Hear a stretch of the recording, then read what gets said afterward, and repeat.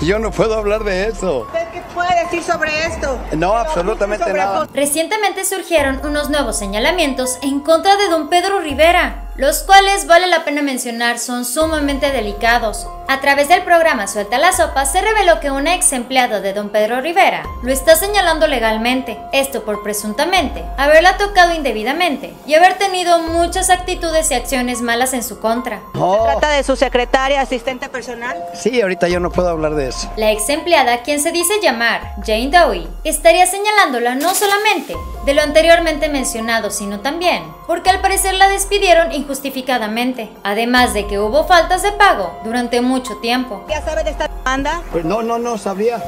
No, ahorita no tengo comentarios. De acuerdo con la declaración de Jane, don Pedro la tocaba durante horas laborales en la empresa Cintas Acuario.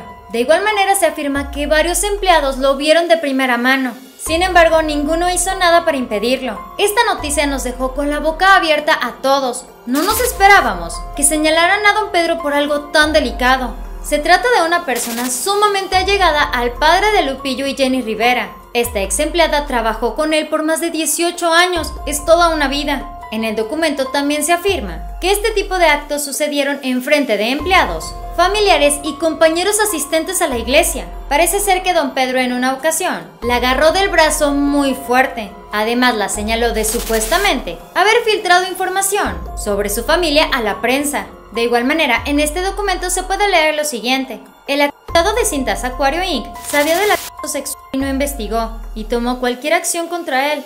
Por lo tanto, el demandante solicitó un juicio contra los demandados y, entre otras cosas, busca compensación económica por daños, los honorarios de los abogados y los costos de la demanda, además de honorarios de abogados incurridos por el demandante, al igual que cualquier otra reparación adicional que la Corte considere justa y apropiada.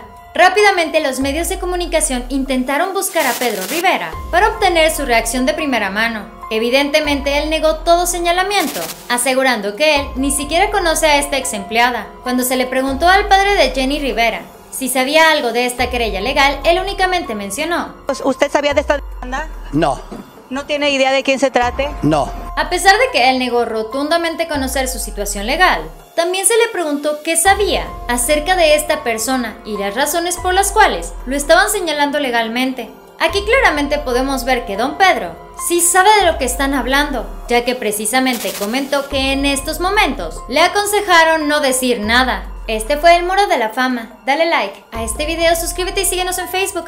Pero antes de que te vayas, ¿qué te parece si checas este siguiente video? Espero que tengas un excelente día, nos vemos muy pronto. Bye.